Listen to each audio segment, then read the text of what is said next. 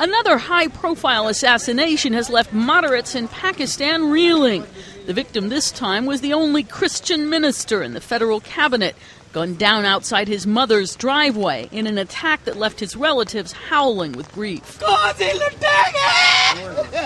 Armed men had peppered a car carrying Shahbaz Bhatti with bullets. A spokesman said Bhatti was dead by the time he arrived at Shifa Hospital, though police added that his driver escaped unharmed.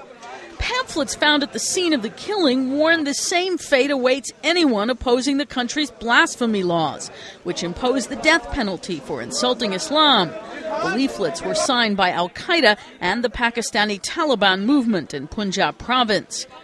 Bhatti, a 42 year old Roman Catholic seen here at a news conference in 2009, had been the most prominent advocate for Christians in Pakistan, a tiny minority in a country where the overwhelming percentage of the population of 180 million is Muslim.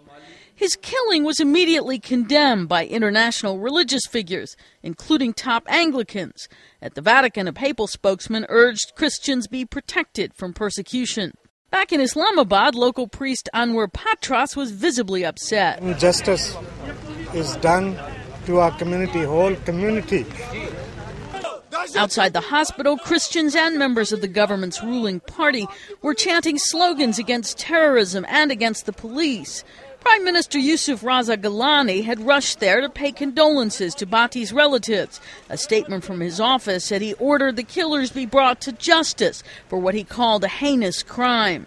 But he made no mention of the blasphemy laws. Gilani and many others considered political moderates have avoided calls for reform in a sign of how they fear Islamist street power in Pakistan. Bhatti's killing has left Christians there more fearful than ever one Islamabad resident had been wailing they feel orphaned, having lost a champion who fought for their rights. Karen Sloan, The Associated Press.